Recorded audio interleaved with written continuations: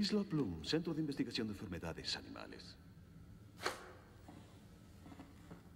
Suena hermoso. Eso está solamente en parte de la isla. Hay una linda playa, la golondrina anida ahí, hay hermosas... Mm. Si yo te ayudo, Clarice, tú y yo nos comunicaremos también. Quid pro quo. Yo te diré cosas y tú a cambio me dirás otras. No sobre este caso, claro está. Háblame de ti. Quid pro quo. ¿Sí o no? ¿Sí o no, Clarice? La pobre Catherine está esperando. Adelante. ¿Cuál es tu peor memoria de la niñez? La muerte de mi padre. Cuéntamelo y no mientas, Clarice, porque lo sabré. Era el comisario del pueblo y...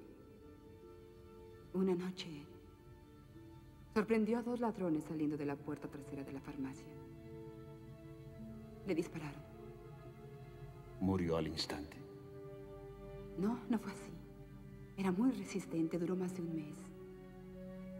Mi madre murió cuando yo era muy niña, señor. Mi padre se había convertido en todo para mí. Cuando murió quedé sola, tenía 10 años.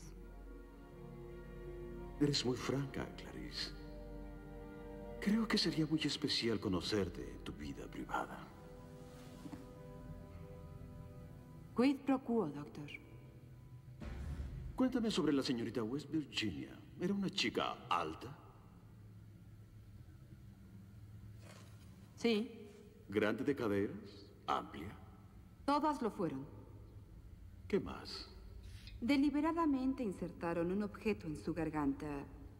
Y eso no se ha hecho público todavía. No sabemos qué significa.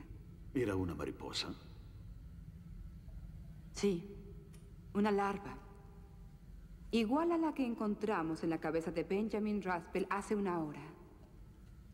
¿Por qué las pone ahí, doctor? El significado de la larva es cambio. Oruga en crisálida o ninfa. De ahí en belleza. Nuestro Billy también quiere cambiar. No hay un nexo en la literatura entre transexualismo y violencia. Los transexuales son muy pasivos. Chica brillante. Te estás acercando mucho al objetivo. ¿Te das cuenta de eso? No, dígame por qué. Cuando asesinaron a tu padre quedaste huérfana. ¿Qué pasó después? No creo que la respuesta esté en esos zapatos de segunda clase, Clarice. Me fui a vivir con la prima de mi madre y su esposo en Montana, en un rancho. ¿Un rancho ganadero? Borregos y caballos. ¿Cuánto tiempo estuviste ahí? Dos meses. ¿Por qué tan poco? Huí de ahí. ¿Por qué, Clarice? ¿El ranchero trató de propasarse? ¿De sodomizó? No. Era un hombre muy decente. Quid pro quo, doctor. Billy no es un verdadero transexual, pero cree que lo es. Trata de serlo. Ha tratado de ser muchas cosas, supongo. Dijo que estaba muy cerca de atraparlo. ¿A qué se refería, doctor? Existen tres centros de cirugía transexual. John Hopkins, la Universidad de Minnesota y el Centro Médico Columbus.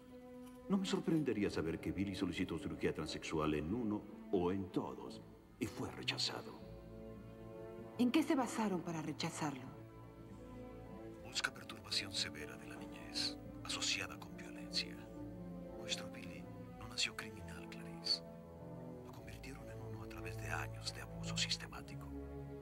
Billy odia su propia identidad y cree que eso lo convierte en transexual. Pero su patología es mil veces más al